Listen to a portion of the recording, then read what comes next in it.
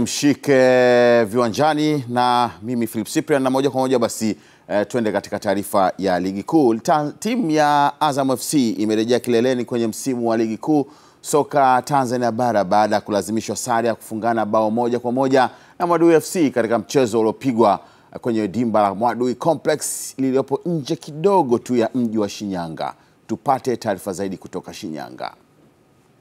Anatenga tena anapata singano kwa ndani kule Katika mchezo huo timu zote mbili zilionyesha kandanda safi, kila moja ikiwa inasaka alama tatu muhimu ambazo zitamuweka katika nafasi nzuri kwenye msimamo wa ligi, lakini kutokana na umakini wa timu hizo zilijikuta zikimaliza dakika 45 za kwanza bila kufungana. Kipindi cha pili timu hizo zilirejea uwanjani. Azam FC waliingia kwa kasi wakilisakama lango la Mwadui FC na kufanikiwa kupata bao ambalo lilifungwa na kiungo Salum Abubakar Shuaboy dakika ya 55 ya mchezo huo. Kufungwa kwa bao hilo kuliwaamsha Mwadui FC ambao walianza kupanga mashambulizi kutafuta nafasi ya kusawazisha. Mnamo dakika ya 71 Chazi Lamfia akapata nafasi ya kuipachikia Mwadui bao la kusawazisha. Kwa matokeo hayo, Azam FC imepanda hadi nafasi ya kwanza kwenye msimamo wa ligi msimu huu ikiwa na alama saba. Mwadui FC wao wako nafasi ya 18 kwenye msimamo wa ligi kuu soka Tanzania bara baada ya kucheza michezo mitatu wakiwa wameambulia alama moja pekee. Okay, huko ni Shinyanga Mwadui. Na mchezo mwingine wa ligi kuu soka Tanzania bara umepigwa katika dimba la Uhuru jijini Dar es Salaam. Wenyeji Africa Lyon wametoa suluhu eh, bila kufungana na wagosi wa Kaya Coastal Union. Masud alikuwa shuhuda wa mchezo huo. Mchezo wa ligi kuu soka Tanzania bara umekamilika kwenye uwanja wa Uhuru jijini Dar es Salaam kati ya Africa Lyon na Coastal Union kutoka Tanga, na mchezo huu umemalizika kwa sare ya bila kufungana kwa timu zote mbili. Hapa tutapata nafasi ya kuzungumza na makocha wa timu zote mbili kupata kufahamu ni namna gani umepokea matokeo haya kwa siku ya leo. Sisi tumepokea vizuri, tumepokea vizuri kwa sababu katika mchezo wa mpira kuna kufungwa, kudraw na kushinda. Sisi haya tumepokea vizuri kwa sababu ile game plan yetu nafikiri haikuweza kufanikiwa, lakini mechi ijayo mwalimu atajitahidi, atajaribu kurekebisha. Hatujafurahia kwa sababu naamini leo tunaweza tupate pointi tatu nyumbani, mechi ya kwanza kucheza nyumbani. Naamini nafasi tumezikosa, naamini walimu wameliona hilo, watalifanyia kazi mechi ijayo. haya ni mashindano na hakuna mahali kusema kwamba ufika lazima ucheze. Tunacheza na watu ambao pia wamepania kushindana. Ukumbuke tunacheza na timu ambayo ina alama mbili, sisi tuko na alama tano. Kwa angalia uzito wa mechi yenyewe. Kwa hiyo kutoka sare kwenye mchezo ni matokeo ya mpira. Matokeo ya mpira matokeo matatu. Kuna sare, kuna kushinda na kuna na kufungwa vile vile. Sasa hii ni ma- matokeo ya mpira. Hii inadhihirisha kwamba jinsi gani timu zote zimejipanga kutafuta nafasi. Toka mashindano haya yameanza mpaka leo. Wewe niambie timu gani imefunga goli tatu? Kwetu sisi ni nzuri kwa sababu tumekuja kutafuta ushindi pointi tatu, kitu tumekosa. Tumepata pointi moja, tunamshukuru Mwenyezi Mungu kwa hiyo tumepata. Basi tunaangalia mchezo mwingine utakaokuja tupate matokeo mengine mazuri. Ulikuwa ni mzunguko wa nne wa ligi kuu soka Tanzania bara. Kwa upande wa African Lyon wenyewe umefikisha pointi tatu baada ya kucheza michezo minne na Coastal Union umefikisha pointi sita baada ya kucheza michezo minne. Jina langu ni Masudi Lihenyi wa Azam Sports. Mabingwa wa soka wa Tanzania bara Simba Sports Club leo wamekamilisha maandalizi kwenye uwanja wa Nang'wanda Sijaona mkoani Mtwara tayari kwa mchezo wao wa Jumamosi wa ligi kuu dhidi ya wenyeji Ndanda Sports Club utakaochezwa katika uwanja huo huko Mtwara. Mohamed Mwaya na taarifa zaidi akiji Mwaya. Kocha mkuu wa timu ya Simba Sports Club Patrick Ausmans anasema mchezo huo anatazama kuwa wenye ushindani mkubwa licha ya kubaini mapungufu ya uwanja kutokuwa na ubora, lakini anaamini watapata matokeo mazuri kutokana na ubora wa kikosi chake. Hatutazami yaliyopita, tunashughulika na mambo yaliyo mbele yetu. Yaliyopita yashapita, tunatazama sasa ni namna ya kushinda mchezo huu na kutawala soka uwanjani. Emmanuel Hope anaamini kuwa kikosi cha Simba kitakuwa katika hali kutokana na kuongezeka kwa Chama ambaye ataongeza nguvu katika eneo la katikati. Ningependa kusema kama ninavyosema kila siku kwamba mimi na kwanza naangalia maslahi ya timu na kuhakikisha timu inafanya vizuri zaidi. Nikifanikiwa kufunga kesho magoli itakuwa vizuri zaidi, lakini mimi sina pressure yoyote ya kufanikiwa kufunga magoli ishirini kama nilivyofunga msimu ujao, lakini eh, msimu uliopita, lakini ni kuhakikisha na nini na na, na, na, nasaidia timu yangu kufanya vizuri.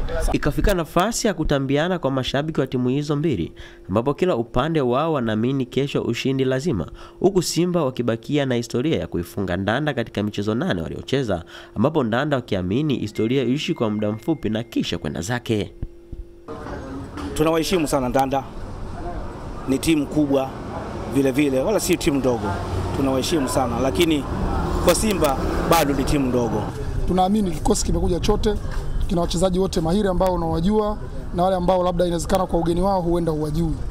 Nachokuhakikishia ni kwamba dakika 90 zitaongea. kwamba kwa kuonesha kwamba sisi tuna uhakika na hii game kushinda kesho hapa, tukimpiga huyo mnyama mwenye kikosi chake cha pointi moja sijui moja pointi something huko, atajua yeye mwenyewe hapa anakufa, na tunakumuonesha kwamba sisi tumempiga kwa uhakika, tuta- tutampeleka kufikia. Sisi Simba kesho lazima tuwaumize, lazima wafungwe hapa Sikia, Umeona mazoezi yao leo hapa, hakuna kinachoeleweka, wameshavurugwa tayari.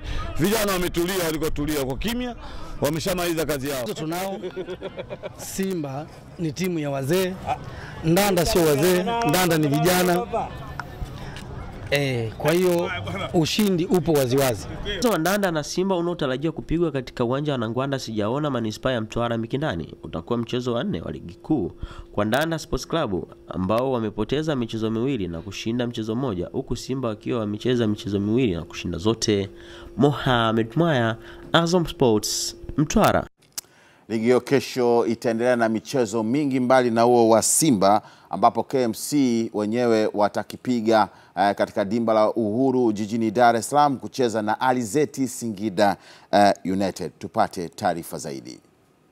KMC watakuwa nyumbani uwanja wa Uhuru kumenyana na Singida United ambapo mchezo huo utakuwa wa kwanza kwao kucheza nyumbani tangu Agosti 22 ligi ilipoanza. Kocha msaidizi wa KMC Ahmed Al na nahodha wa timu hiyo Juma Kaseja wamezungumzia mchezo huo kuwa utakuwa muhimu kwao kwa kuwa ndio mchezo wa kwanza wakiwa katika uwanja wa nyumbani. Maandalizi yako vizuri. Uh, vijana wote naona wako katika hali nzuri, kasoro labda anaweza kuwa kijana mmoja. Kwa ripoti ya dokta ya leo labda tutakaopokea um, kwa mazoezi ya jana na leo, kuona yule kijana kama atakuwa amerecover au bado, lakini kwa wachezaji wengine wote kiujumla wako vizuri kabisa. Mpira wa kisasa hauna nyumbani wala ugenini. Hata nyumbani unaweza ukafungwa na ukashinda, na ugenini unaweza ukashinda na ukafungwa. Kwa hiyo sisi tumecheza mechi tatu za away, tumepata pointi tatu.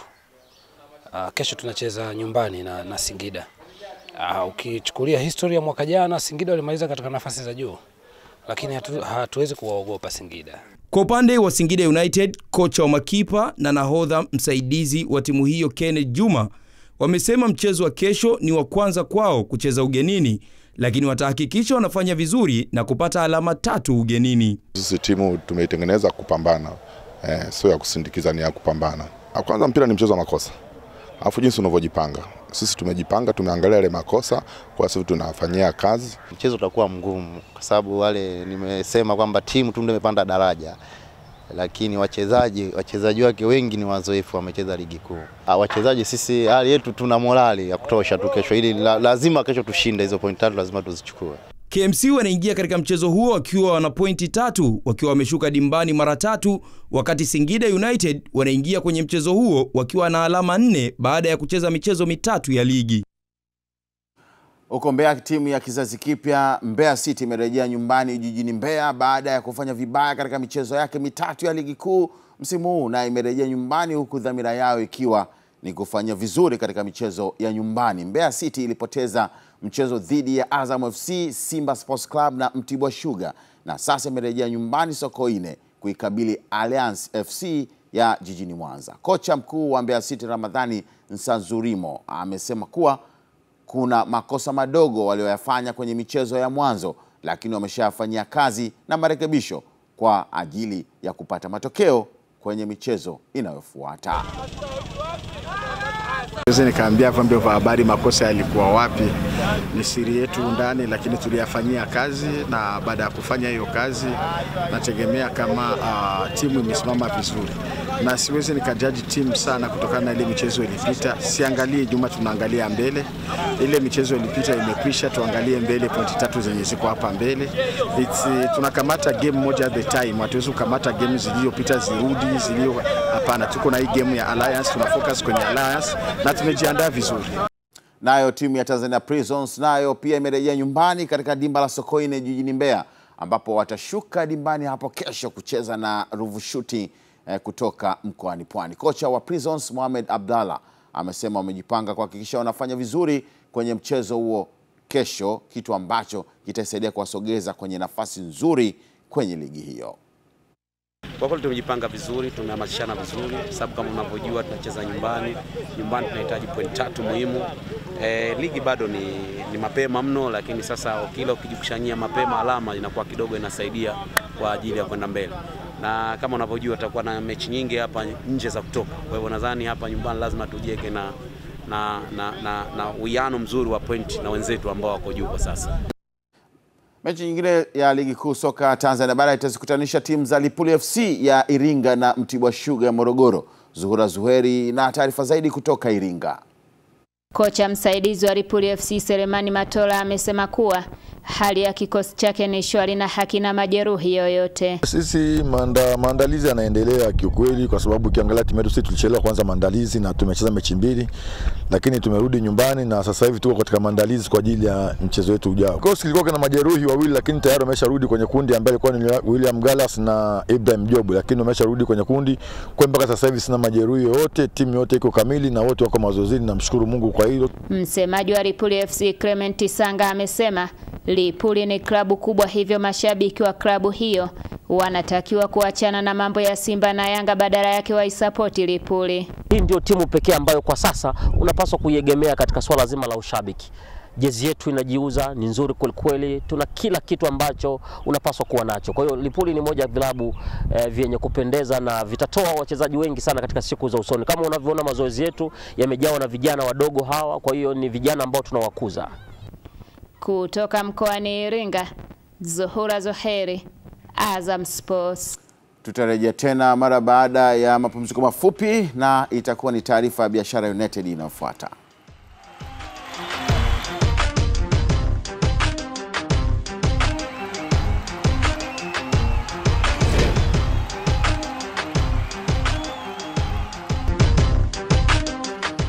Tuelekee pale Mara ambapo timu ya Biashara United Mara imejipanga kushinda mchezo dhidi ya timu ya Kagera utakaopigwa katika uwanja wa kumbukumbu ya Karume mjini Musoma, ikiwa ni mchezo wao wa kwanza kupigwa katika uwanja huo tangu timu hiyo ilipopanda ligi kuu. Augustine Mgendi kutoka Mara na taarifa zaidi. United Mara wanajeshi wa mpakani tayari imecheza michezo mitatu mpaka sasa na kushinda mchezo mmoja kati ya hiyo na kupoteza miwili huku michezo yote ikichezwa nje ya mkoa wa Mara. Kocha mkuu wa timu hiyo Itimana Thiel amesema ana imani kikosi chake kufanya vizuri katika mchezo huo huku akiwataka wadau na mashabiki wa soka mkoani Mara kuiunga mkono hapo kesho kujitokeza kwa wingi katika uwanja wa kumbukumbu ya Karume. Tucheza mechi tatu nje hivi ni wakati wa kucheza mechi nyumbani, na ni muhimu sana tuanzie hii mechi yetu na ushindi. Kwa hiyo ningi ningipendelea tuombe washabiki wawe wengi, wawe watusapoti. Hiyo nasema shabiki ni mchezaji wa kumi, wa kumi na mbili. Kwa hiyo naamini kama mechi tunaitayarisha kama inabidi, mazoezi yanakwenda vizuri, ingalau kuna wachezaji wadogo ambaye hawapo kama God Messi anaumwa. Naamini kikosi ambaye kiko tutajitahidi tufai vizuri.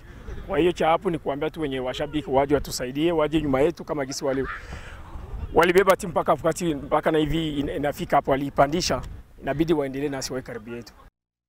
Nacho kikosi cha timu ya Kagera Sugar tayari kimefika mkoani Mara kwa mchezo dhidi ya Biashara United Mara, ambapo kocha mkuu wa timu hiyo Mek Maxime amesema timu yake ipo tayari kuwakabili eh, Biashara United Mara, na huku akifarishwa na hali ya uwanja. Kwa mara nyingine tena, Agustin Mgendi na taarifa zaidi. Tayari timu ya Kagera Sugar kutoka mkoani Kagera imefika hapa mkoani Mara na jioni ya leo wamefanya mazoezi mepesi katika uwanja wa kumbukumbu ya Karume, ambapo pia nimepata nafasi ya kuongea na kocha mkuu wa timu hiyo. Kikubwa kwanza tunamshukuru Mwenyezi Mungu, tumefika Musoma salama na vijana wote wako salama. Tumejiandaa kwetu tulikotoka Bukoba, kwa hiyo nafikiri kesho burudani itakuwa nzuri, ukizingatia pichi ni nzuri mm, pichi ni rafiki kwa timu zote. Kwa hiyo kesho mwenye uwezo na mimi ndo anaweza kashinda huo mchezo. Mchezo huu utakuwa ni mchezo wa kwanza kwa timu ya Biashara United Mara katika uwanja wa kumbukumbu ya Karume hapa mjini Msoma, ambapo wadau na mashabiki mbalimbali kutoka katika maeneo mbalimbali ya mkoa wa Mara wanakaribishwa kuangalia mtanange huu hapo kesho. Augustine Mgendi, Azam Sport, Musoma. Hayo basi akiwa ni ya ligi kuu soka Tanzania bara, michezo ambayo itachezwa hapo kesho. Na tuelekee katika taarifa nyingine, ambapo taasisi ya kudhibiti, kuzuia na kupambana na rushwa nchini TAKUKURU imewataka Zakaria Hanspop na Franklin Peter Lauo kujisalimisha mara moja katika taasisi hiyo. Naibu mkurugenzi mkuu wa TAKUKURU Brigedia Jenerali John Julius Mbungo ametoa tamko hilo hii leo jijini Dar es Salaam alipokuwa akizungumza na waandishi wa habari. Kuna wananchi wenzetu wa Tanzania wenzetu ambao tumekuwa tunawatafuta kwa muda mrefu kutokana na matukio ambayo wameyafanya ya rushwa. Kuna mwananchi mwenzetu anaitwa Zakaria Hans Pop na bwana Franklin Peter Lauo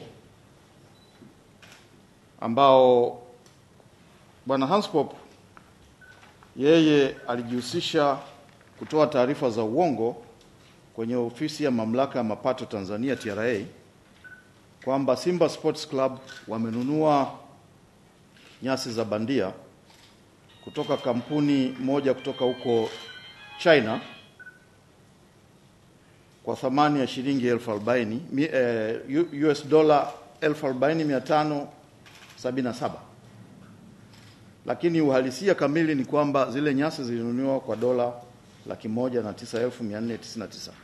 Nia hapa ilikuwa ni kuto kulipa mapato yanayotakiwa kulipwa TRA. Sasa kwa mujibu wa sheria ya kupambana na kuzuia na rushwa, hili ni kosa, na tumekuwa tukimtafuta kwa njia ya wazi, yani uh, overt means.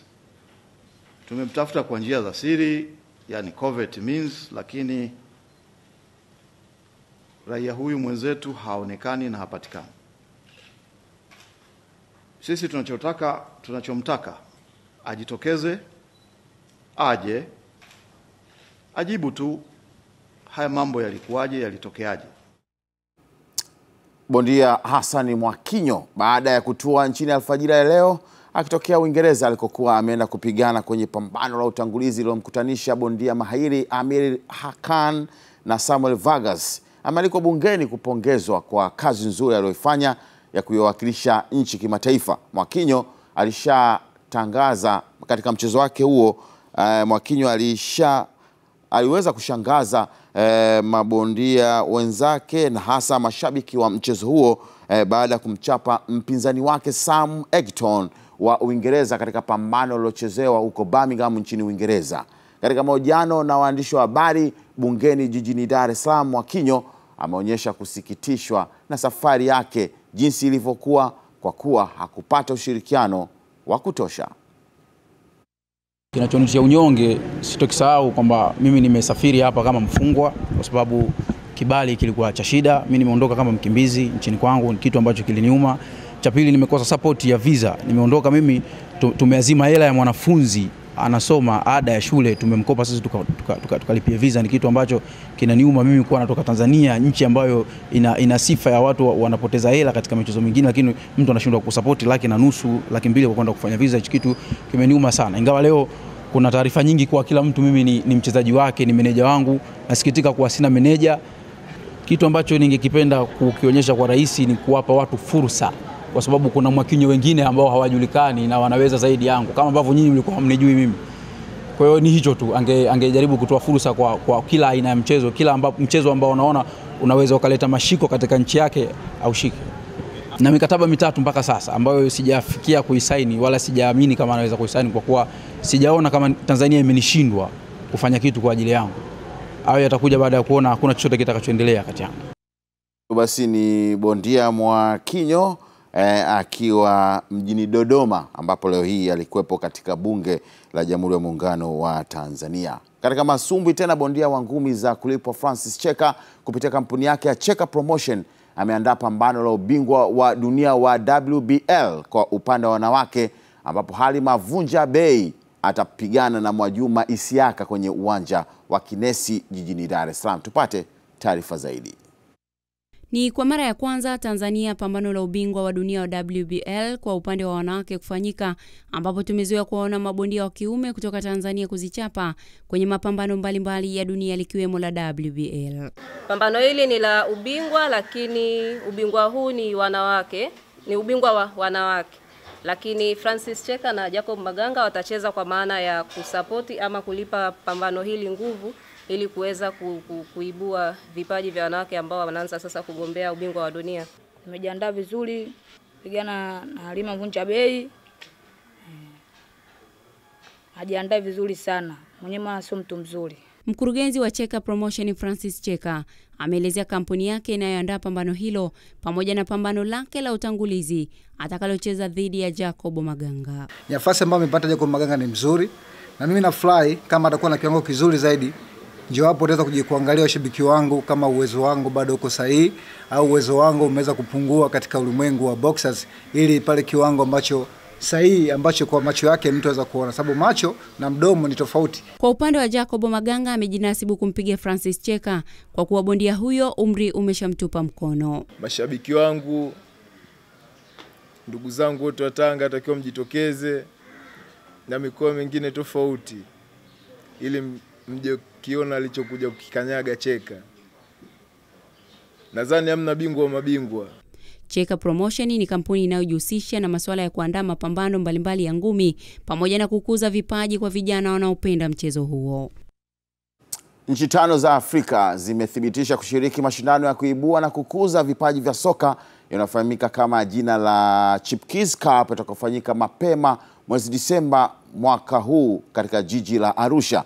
Waandaaji wa mashindano hayo Future Stars Academy wamesema safari hii timu zaidi ya mia moja zitashiriki huku Kenya ikiwa imethibitisha pia kushiriki eh, na kuleta idadi kubwa ya washiriki. Ramadhani Mvungi kutoka Arusha na taarifa zaidi.